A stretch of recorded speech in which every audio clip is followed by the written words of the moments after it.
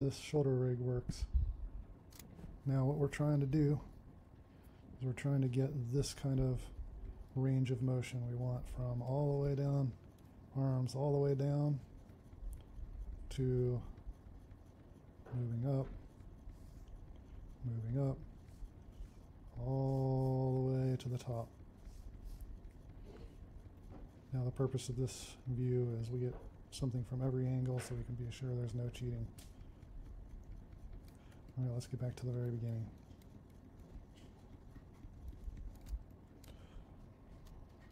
Alright, so what makes this up?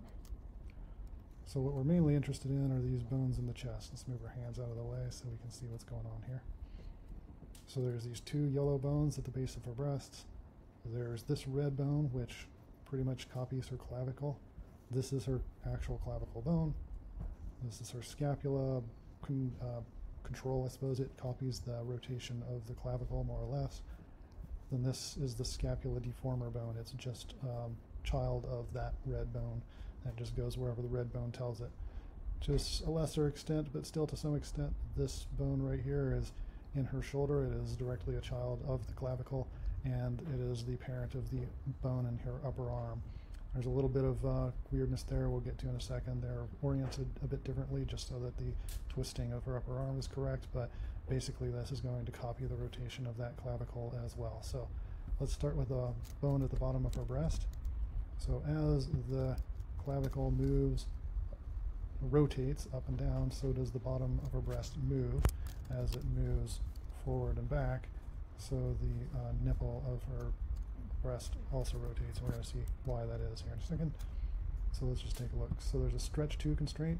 That is so that this bone will stretch to that bone there that copies the clavicle. There is a translation as the clavicle rotates on its x. So this one moves on its y. So its y-axis is up and down. That's the that's the movement we were talking about just a little bit ago. You can see the bottom of it moving up and down as the clavicle rotates.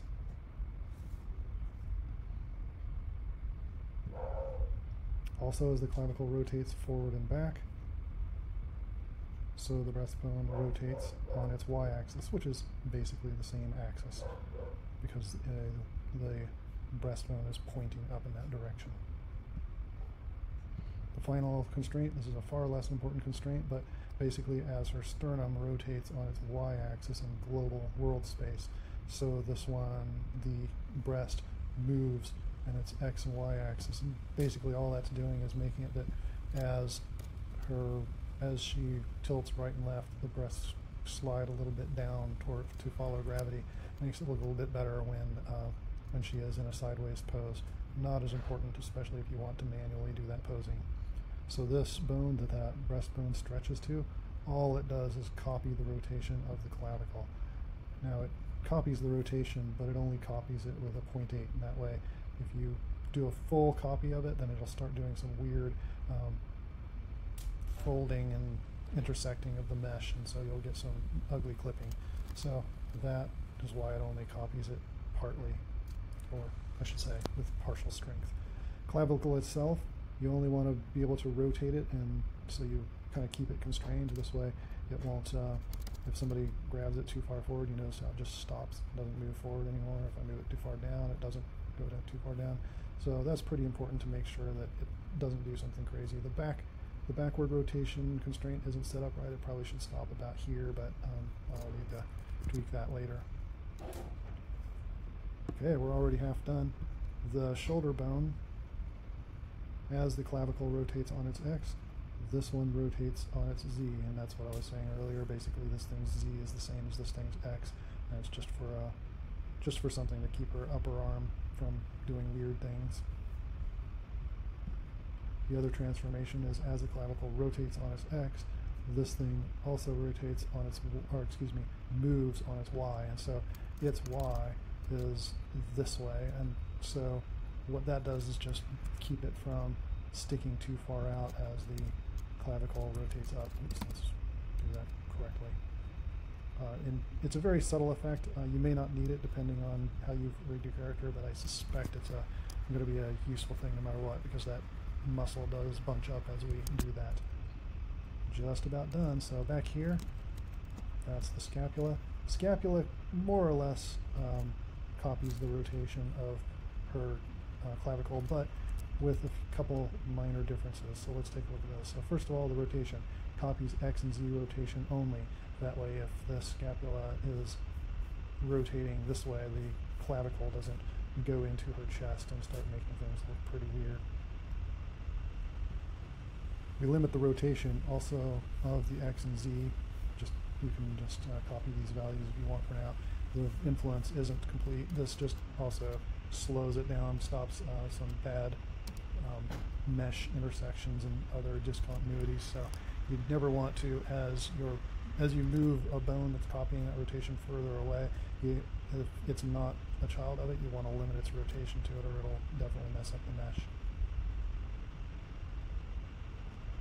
Another thing is, as the clavicle rotates on its Z, again that's forward and back, then this thing's location moves. So you can kind of, again, copy those values, but the general idea there is that if I keep its location constant, it looks, it doesn't essentially rotate around. So this is kind of a cheat since this is not actually a child of the clavicle and actually shouldn't be, but it needs to sort of act like the child of the clavicle and a, a little bit, then that actually causes it to kind of pull around or kind of push back and um, do some natural movements there.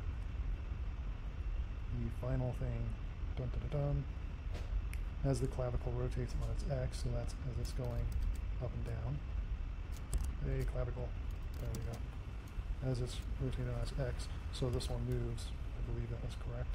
Yeah, this one moves on its Z-axis, and its Z is up and down.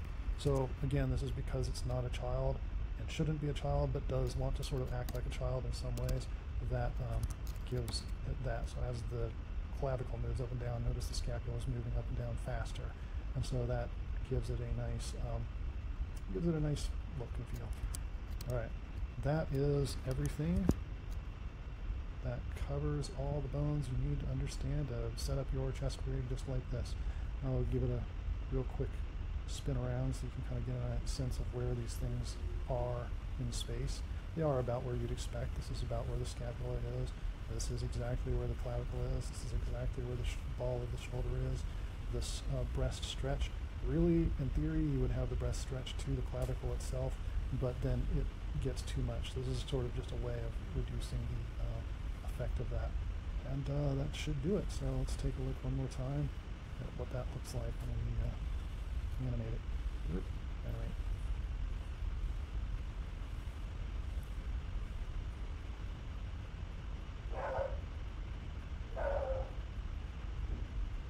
As I'm looking at her shoulder from behind in the lower right portal, I don't like how slowly her left shoulder came along. Let's go back and look.